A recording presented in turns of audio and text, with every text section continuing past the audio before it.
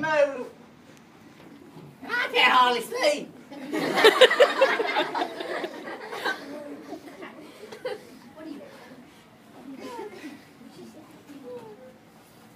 How are you doing? Does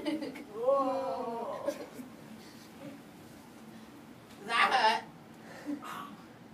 Well, it shouldn't hurt. You're paralyzed. You can't it. what about that? Nothing? All right. What about I'll be back in a minute. All right. What are you looking at? So while his friends went out to do things, the paralyzed man just had to lay there, sit in the house. Hey! Hey! Hey! Get on his head! Get on his head! Jesus is in it!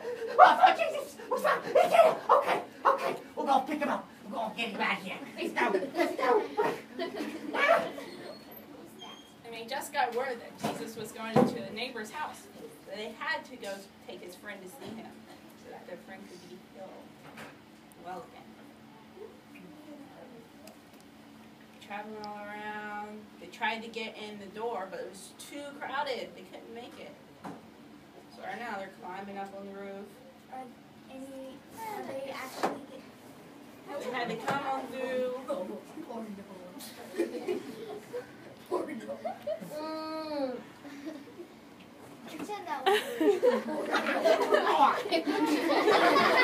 Sorry, Noah.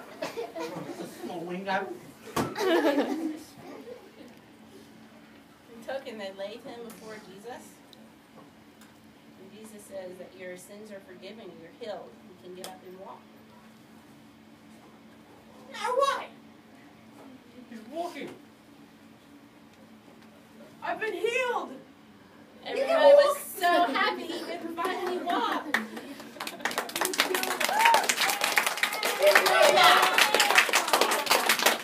Husband has been in that guy for 10 years. He's got to walk.